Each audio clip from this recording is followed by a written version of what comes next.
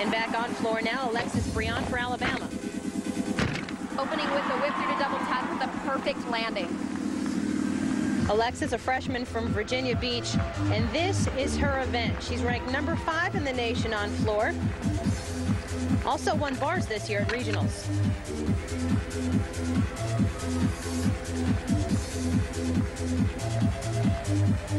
Alexis is a very powerful tumbler.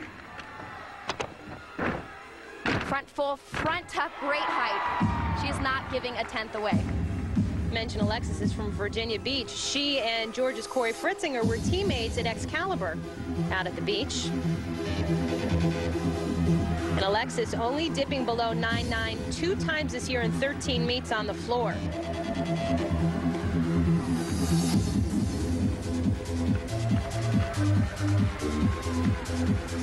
Here comes her final tumbling pass. Beautiful double tuck, nailing every single landing.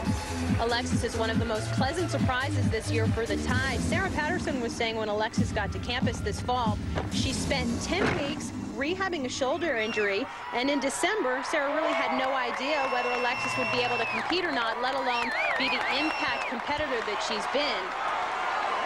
And another 9-9 on the floor for Alabama.